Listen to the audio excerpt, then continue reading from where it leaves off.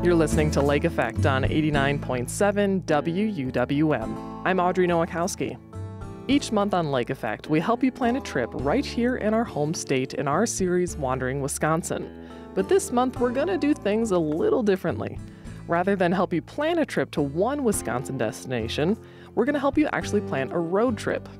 Wisconsin has a handful of scenic byways, and today we'll learn about the Great River Road that snakes along the Mississippi River on the western edge of the state.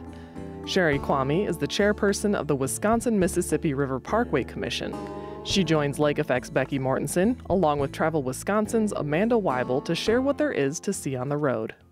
So, Sherry, before we get into what people can do and see along the Great River Road, Let's talk about how this route was established. I understand it started back in the 1930s. It did.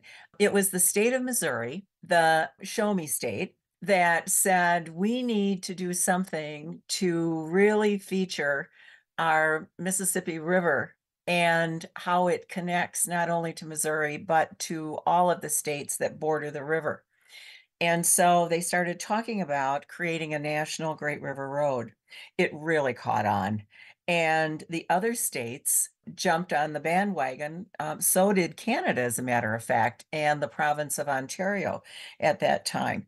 They started talking with their congressional delegations, and in 1937, 1938, Congress, in fact, established a Great River Road program.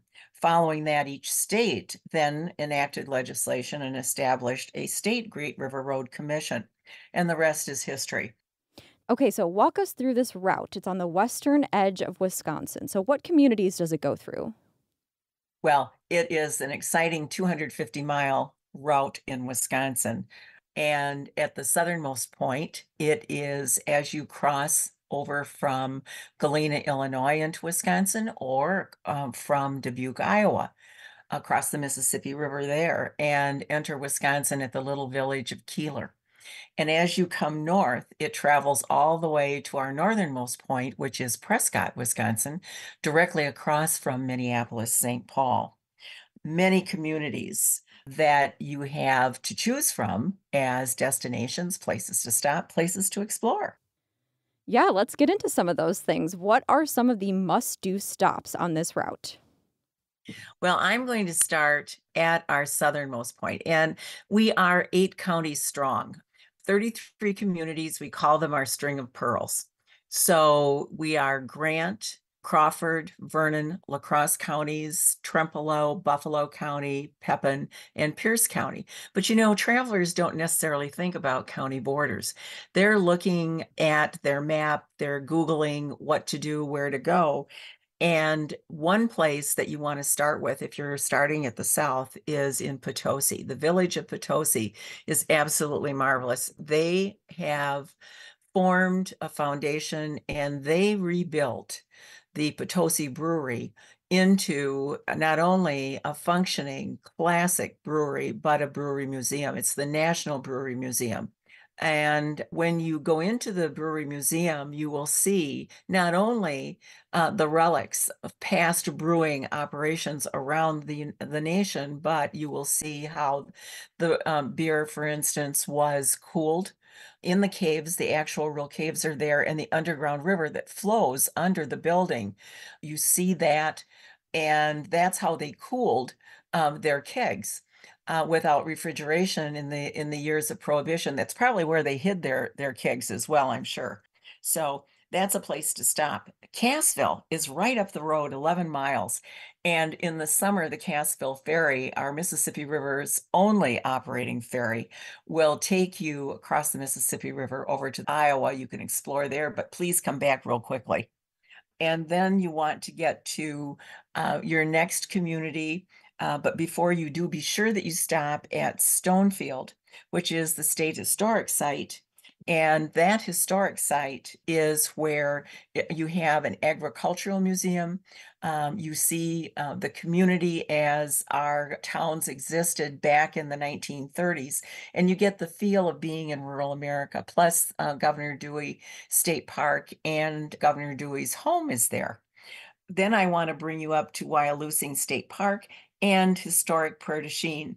And Prairie du Chien, of course, is where the Villa Louis, uh, former home uh, in the Victorian design, fully rebuilt, refurbished. It's just gorgeous. Your guides are in costume, period dress, all very authentic. So that's a little taste of what you might find in the South. Would you like to travel a little further? Yeah, let's do it. All right. I will tell you that if you're in Prairie du Chien, you also want to see the uh, Fort Crawford, another interpretive center. And if you're looking for something to do in Prairie du Chien, June 13th through the 16th this year, the Civil War reenactment um, happens. And in September, uh, they have the Carriage Classic. Get your pizza at Muddy Waters, stop at Pete's Hamburger Stand, and enjoy, you know, a full day there.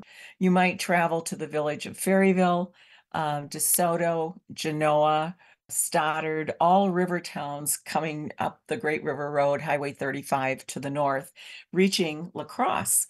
And all along the way, you are parallel to the river. You will see eagles, you will see herons, you will see all kinds of wildlife, probably beaver lodges, things that you might not normally recognize or see, but have your binoculars along because that makes this trip really fun as well. And Amanda does know I'm a big fan of unique destinations. So, what are some of the more unusual things you can do, places you can stop? Fun things that I've got on my list would be, first of all, to stop at a wonderful place in Fountain City called Kinstone. Kinstone is a megalithic garden that is really inspired with stone constructions, much like Stonehenge in England. It is high on the bluff that overlooks the Mississippi River. So that is an unusual and wonderful stop. Another favorite is to search out the fishing barge in Trempealeau. And people that want to fish get tired of, of the idea of fishing from shore um, can be transported over to a fishing float on the river. And there's one in Trempealeau, there's one in Genoa. You, but you don't have to have your your bait; they'll provide it, or your tackle or your pole help you catch your fish. You'll also find that they'll grill you a hamburger or a hot dog or something to eat if you weren't prepared. So those are just fun, unusual things to do. So, if people are making a road trip out of this, they'll need to stop to eat. Maybe they don't want to catch their own food. So, what are some restaurants you might recommend for people to check out? I love the Golden Frog and the Monarch Public House in Fountain City.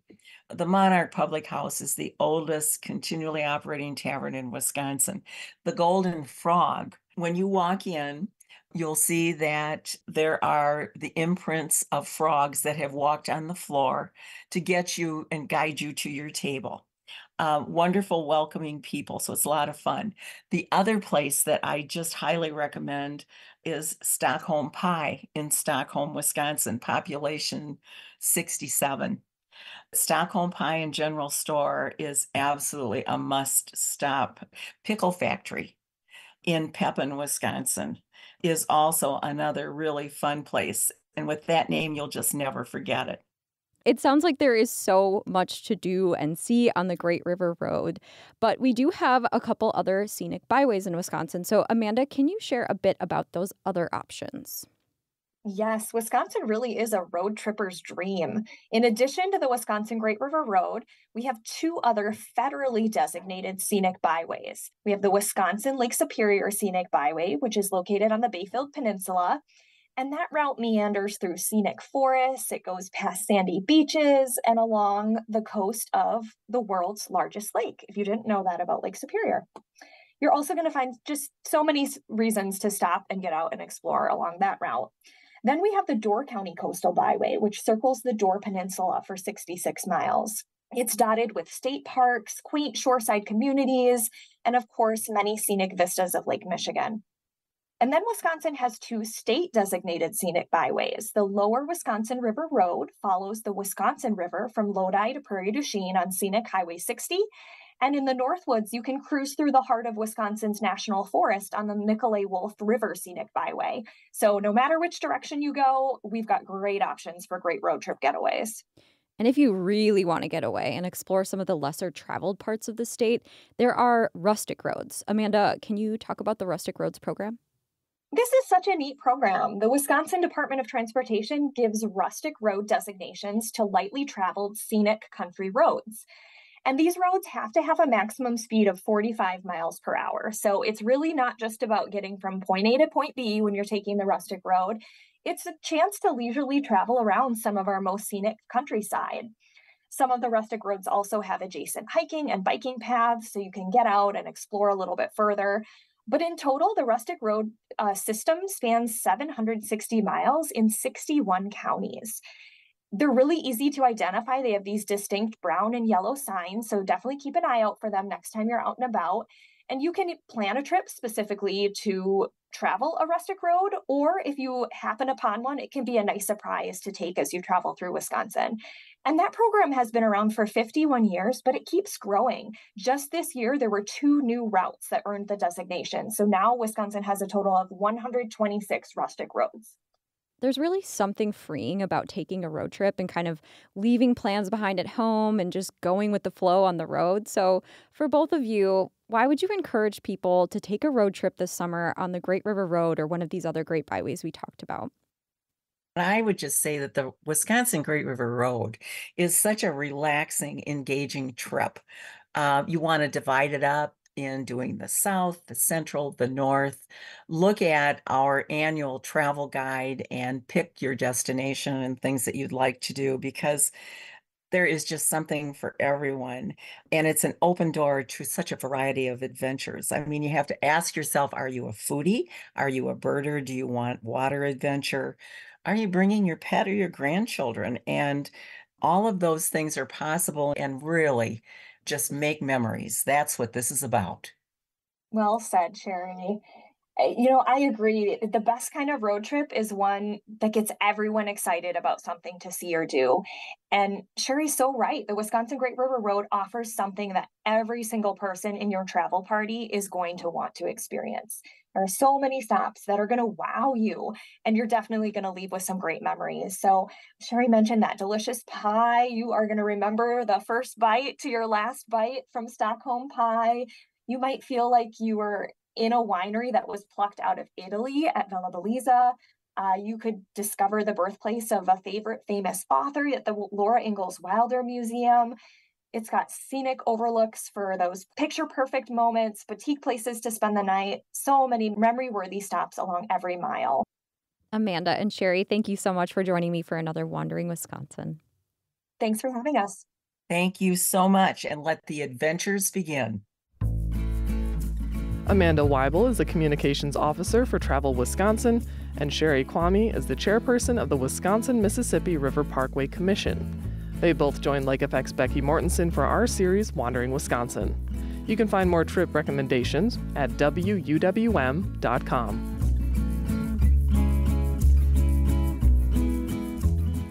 If you aren't quite ready to plan a multi day trip along the Great River Road, there are lots of day trips from Milwaukee to explore the many unique sites Wisconsin has to offer. Less than an hour outside of the city, you can find one such site in Menomonee Falls. Redner's Rescued Cat Figurine Museum. That's right, museum. The cleverly named gallery is a pet project for founder Sean Redner, who donates all of the admission funds to rescue cat organizations. Lake Effect's Joy Powers spoke with Redner to learn more. Tell us a bit about uh, how you came up with the idea for this museum. The museum itself wasn't actually supposed to happen this all came out of me finding sobriety and needing something to do. So I had a lot of free time after I stopped drinking. So I started hunting for cat figurines at the various uh, thrift shops. And eventually I had enough cabinets full that I decided it would be a great idea to try to help use the museum to help the cat rescues in the neighborhood. And that's when I said to my wife, I got a great idea. We're going to open the house to the public one day a month. We're going to ask for a $5 donation and then we're going to donate the money away. So the museum itself was never the intention when the first few figurines were purchased. What is it that you like about cat figurines? Well, we have nine rescue cats but the cat figurines themselves have their own unique personality, and some of them have a lot of history behind them. So it just, you know, kind of went along with the cat rescues and the cats that we have. So a, a, a lifelong commitment to cats. No, it actually started when I moved to Milwaukee in 2008. The previous tenant had left her cats in the duplex I moved into, so I kind of just fell into the cat world on accident. Interesting. Had you been uh, a fan of cats previously? I didn't really care or just, you know, dislike them. They were just kind of there. Sure. So, if someone comes to the Cat Museum, what are they going to see there? Oh, we currently have roughly about 3,500 pieces of cat related uh, art, sculptures, wood carvings, cat figurines, cat dolls, cat light switch covers, if you name it, and it looks or resembles a cat, it's in the museum. There's really no limit to what you will see here if cat related. There's artwork, crocheting, a needlepoint, anything cat related has found a home here at the museum. What do you think people would be most surprised to see at the museum? Both the amount of stuff and how actually how clean it is. we get that a lot. Like, I cannot believe you guys have nine cats here. Sure. Now, as you look around your collection of the many figurines, the art, all of the cat related accoutrement, what sticks out to you the most? What are the pieces that you like the best? Though I like the stuff that have people's signatures on it or their names we have a picture of a black cat and a mime together, and on the back of it is a, a note to somebody's mother about Happy Mother's Day. So when we find things, because most of the stuff in the museum has been donated or comes from secondhand shops, when we find stuff that has a personal attachment to it, we tend to gravitate to liking that stuff more than your everyday run of the mill cat figurine. Sure. Now, you're currently just open one day a month, is that right?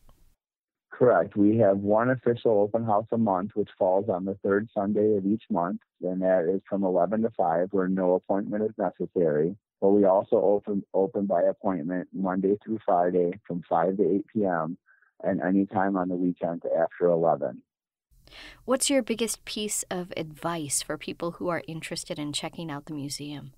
just give me a call. We will open the doors. We want to share this place with as many people as possible. The more people we can get in here, the more that we can donate back to the cat rescues. All right. How how much have you been able to donate so far? Um, last year we donated a little less than two thousand dollars is what the museum raised. How much would you like to donate?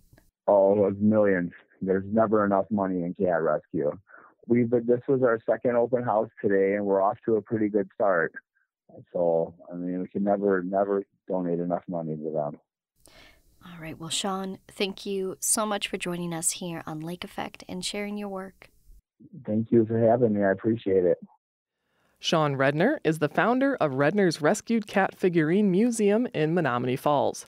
He spoke with Lake Effect's Joy Powers last April when the museum was featured in Milwaukee Magazine.